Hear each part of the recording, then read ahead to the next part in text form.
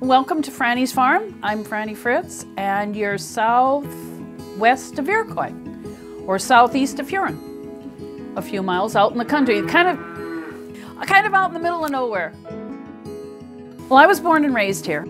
My dad died in 1973, and I had one year of high school left, so I finished my, I graduated in 1974. And I had some money saved up for college, so I went to SDSU and eventually I settled on animal science and I worked my way through college and got out of college with an animal science degree and a minor in dairy production. When I was in college and when I was taking my animal science classes, you know, after about two years you start taking your major stuff. If I'd walk into a room and there was more than five women in the room, I'd quickly back out, check the room number, make sure I was in the right room, because there weren't women in animal science back then. If they were, they might have been there starting to get a vet degree somehow. Coming home to farm, there was bets in the community that I wouldn't last a year. It wasn't done. Uh, I was the feminist, and believe me, I'm so far from being a feminist that it ain't the truth. I just wanted to try. If I failed at it, then at least I tried. Mom was here with the farm and my sister, and it was kind of like come home and try since it was my major. Back then, kids in college came home to farm. And so I came home and I said, well, I guess if I don't try, I'm always going to regret it. That's 41 years ago. I graduated in May and I shipped my first milk the 15th of August of the same year. And I milked cows for 10 years and was building a beef herd along with the cows. And uh, pretty soon it was to the point, milk cows take a lot of time. And I didn't want to do that and I wanted beef cows and switched over to beef cows and beef cows ever since. You just have to do things a different way. I probably can't use the brute force that men have because they have more strength than I have.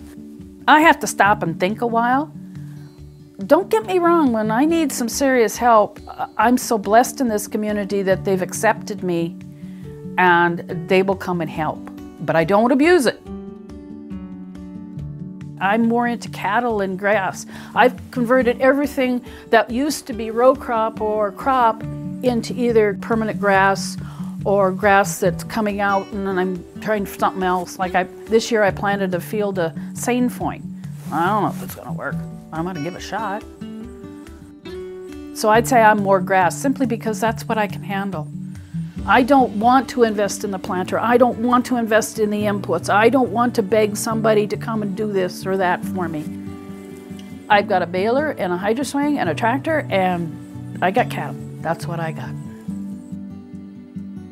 I love what I do. I, I, you know, standing out there with the heifers, I don't get to do that very much. I, I should, but I don't. And, and I love what I do. But I know that when I put a steak on the table for myself or whoever, there's a fair number of people that don't understand it. They think I'm the worst person on the face of the earth. But they don't know the hours that I've spent to save a baby calf or a pair that I couldn't save. They don't understand that. Oh. Uh, this, these cattle, these calves, they're more to you than just a commodity. Oh yeah, too much so. Talk about that. Oh no, then I cry. Okay. It's a good life, but it's a stressful life. I mean, I'm sitting in a barn and here comes a cat and the calves are watching and you guys have been so nice and what other life could he have? They have all of this. His name's Petunia. I know. It's Petunia. I didn't know he was a boy.